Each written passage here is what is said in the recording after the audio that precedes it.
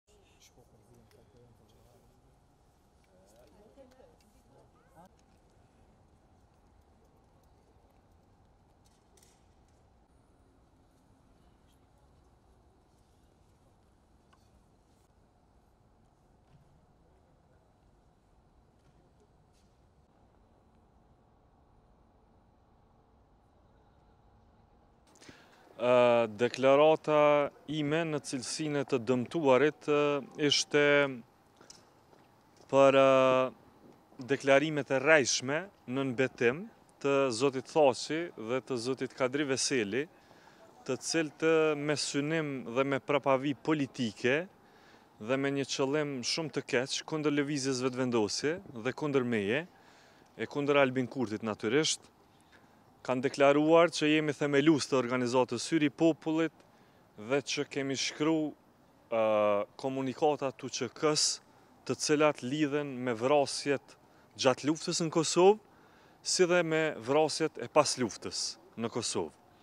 Këto janë pretendimet e zotit Thaçi dhe zotit Veseli, pra që të lidhin Lëvizjen Vetëvendosje me terrorizmin, me vrasjet e luftës në kohën e luftës tonë çlirimtare, por edhe gjatë vitit 2000.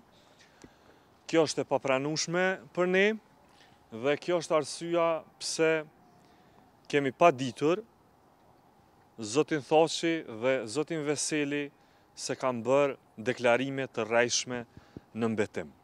Qëllimi pse e kanë bërë këtë, për ne është i qartë, ata kanë synim politik që duke e konsideru Lëvizjen Vetëvendosje si kundërshtar politik, të bëjnë kësi mveshje të veprave të rënda penale përmes deklarimeve të rrejshme, ashtu që ta eliminojnë pej skenës politike Pra ta diskvalifikojnë politikisht Lëvizjen Vetëvendosje, Albin Kurtin dhe mua.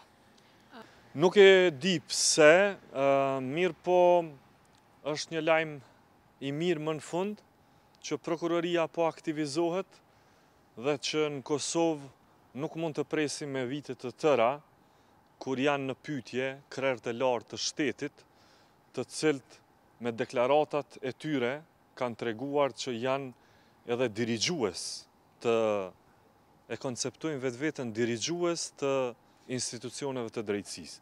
Vetëm merreni me mend një fjali se si është shprehur zoti Thaçi gjatë deklaratës tij. Ai ka thënë, unë e zgjeroj aktakuzën, Unë e zgjeroj aktakuzën. Mrme, ky është fjalori i presidentit tonë. Ka thënë unë e zgjeroj aktakuzën në drejtim të Albin Kurtit dhe të Glauk Konjufcës. Thuajse vetë është prokuror kryesor i shtetit dhe vetë i shkrun